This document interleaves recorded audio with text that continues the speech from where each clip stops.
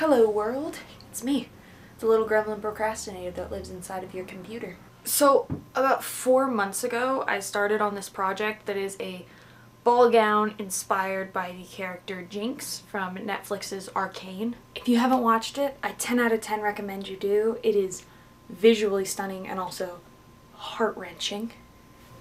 I did actually get started on the skirt and then finals week hit and then I got a job. So I packed up my stuff. I moved to New York City for three months of my life. Yeah. I just finished moving back and unpacking all of this and all my projects. Needless to say, this dress is overdue and so we're gonna see what past me left to work with and get started. I'm starting off by taking fabric dye and paint and drawing big old stripes onto this poly satin, then taking a hot pen and some foil and making these little hexagonal shapes all up and down the stripes as well. And it looks something like that. I'm gonna be honest, I forgot to film all of this. After more paint and foil, I stuffed this project into a box and moved halfway across the country. Several months later. Once I got back from my summer in New York, I saw what the skirt was left and I finished up hemming it.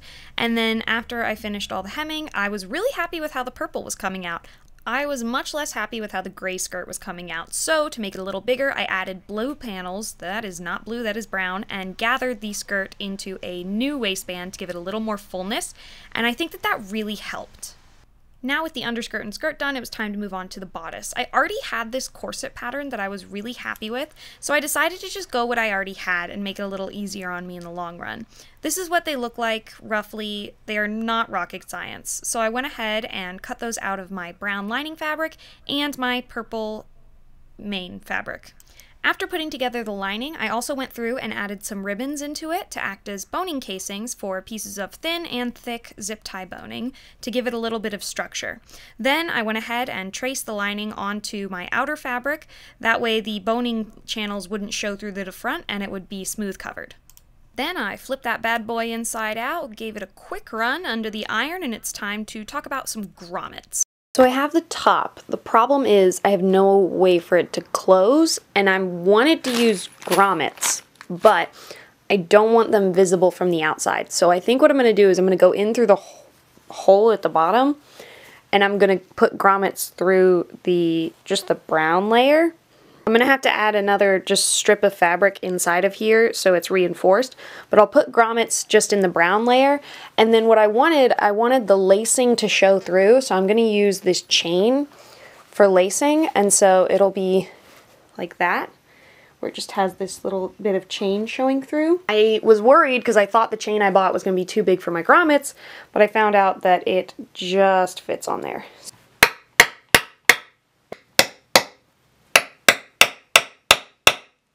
With my grommet dilemma solved, it was time to start wrapping that chain through. The original length of chain that I cut didn't end up being long enough, and I have to fix this later. But that little button that I had tied to the end was so even if I unlace this all the way, I won't lose the chain. After giving it a quick try on, I decided that it was time to start draping some straps for the shoulders. I just did this by taking my lining fabric and drawing directly onto my mannequin, and then cutting four copies of the straps in my lining and my outer fabrics, sewing those together, turning those bad boys inside out, and giving them a press under the iron. After attaching them to the bodice, I gave it a quick try on, which was successful, and got started on hemming the bodice. So I have the bodice built, and uh, it just needs to be attached to the skirt, and I'll do that by hand just so I can attach uh, at every layer. And while I'm digging the way it looks, the middle part that's very empty is, you know, a bit of a problem since I don't just want everything hanging out.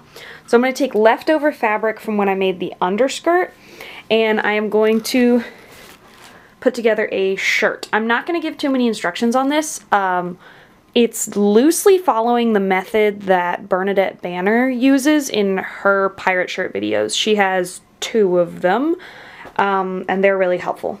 Yeah, I was serious when I told you I wasn't showing you how to make this shirt. There are tutorials all over online, and I genuinely forgot to film the entire process. I will, however, be tucking this back under my armpits and sewing it into the bodice to where there's a triangle opening on the front of it. Just like so, and pinning it in place. So a couple things today. So we're gonna change this side to match this one. And then I just pinned all along some connection points along the bodice. And so I'm going to go through and hand sew the gray piece to the purple piece so that it doesn't um, shift when I'm moving about with it later. And I will see you in a little bit because I am very, very busy today. It is also laundry day and I don't have a dryer, so all my clothes are hanging up around the house.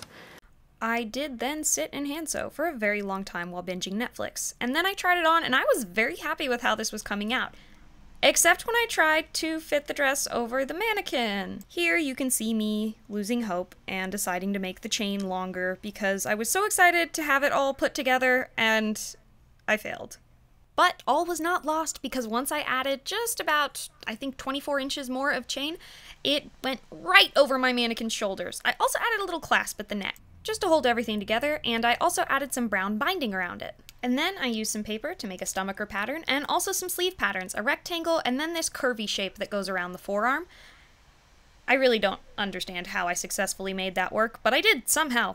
Then I cut it out of both my lining and my outer fabrics, and for the stomacher, I added a couple extra layers of fabric just for reinforcement. Then I flipped all those bad boys inside out so they had nice clean edges, gave them a press under the iron, and started on the straps. Taking a thin strip of purple fabric and a thick strip of brown fabric, I made it into a tube, flipped it inside out, gave it an iron, and it turned out something like that. I made about five each of these for the shoulders and elbows of the sleeves, and then pinned and sewed them into place to create these. Sewed those flat tubes into some sleeves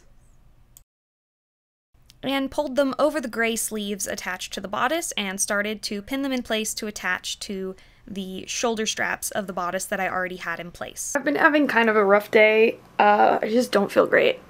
Um, I don't know if I'm getting sick or not, but um, filming is just a lot of effort.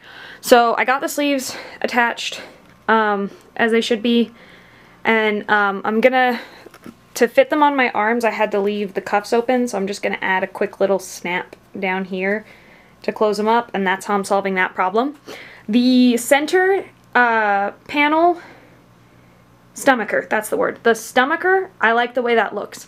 I like the way the collar looks. So what I'm going to do is I'm going to take the collar and I have a little bit of extra of that ribbon. I'm going to put the same exact thing. I'm going to put mini collars in, on the cuffs. I'm going to make some rough cuffs. And then the stomacher, um, before I can get to the fun decorating part of everything, I want to take some brown binding and I want to bind the top of the stomacher and the edges of this to just bring a little bit more of the brown into it. Um, and then I can hopefully move on to other things before the weekend is over. But I'll be back soon. I added a faux pull chain on the other side to match the one that pulls the lacing, and realized I forgot to show you how I made the collar, so here are some brief, unexplanatory, and unhelpful clips. I technically have a finished dress, but I bought, one sec, I bought like a bunch of like chains and little gears, and I have like all these brass buttons and things, and so I'm just gonna bedazzle the heck out of this. Um, and then we'll call it quits. First layer of sparkle has been added. I added this chain that's going to have a watch pendant and then there's some more chains down the sides. Down the middle I added more around the neck, uh, down the sleeves, and then there's also some that reach all the way around to the back. I'm going to go ahead and tack all this down with some hand stitching and then I will move on to my buttons, wherever those meant went. Strand of teeny tiny beads and it is now all over my floor. Once all those chains and beads were hand sewn on, I went ahead and took my hot glue gun and geared the heck out of it, and then started on my props. For instance, this little holster made from an old purse and a bunch of the extra gears that I attached to the skirt with some buttons like so. And I decided I wanted some props to go with this costume, so I went ahead and made some drawings of a couple of Jinx's main props, and then just got to work with paper, hot glue, and a dream. And really, that is all the instructions I can give here. I did not measure any of this. Caffeine does truly do wonders to the human brain. So then I went ahead and painted all these props black and then added some purple details in between the black. And then I went in with a shimmery bronze paint that I had lying around and also a shimmery silver paint uh, for some of the gray and silver details within them. and my hands looked ridiculous by the end of this. I felt like the Tin Man. I then went ahead and glued down some sheets of gold leaf onto paper and peeled those off a little too soon because they're speckly and covered in glue. And I went ahead and drew some of the little mechanical death butterflies that Jinx makes because what doesn't say joy like death butterflies? Okay, for this next part, I did not film it because I was very scared. It was my first time styling a wig, and I love the way it came out. It's held together by hairspray and a dream, and I will most likely feel more comfortable filming my next wig. But I'm very happy with how the butterflies look. You're about to become extremely, inexplicably attracted to me. This is. This is hot. When most people cosplay Jinx, they usually go for the cartoony, arcane makeup look. I am not that talented of a makeup artist, so instead I just went for some sleepy, baggy eyes, some nude ish lips, and some dark eyeliner to really bring out the crazy, manic girl in me. And now the reveal.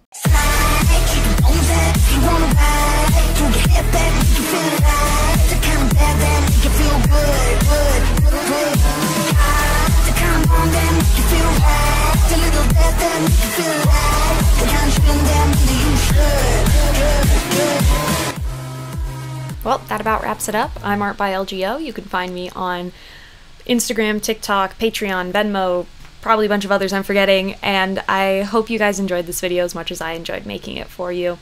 Have a lovely day. See you next time. Bye.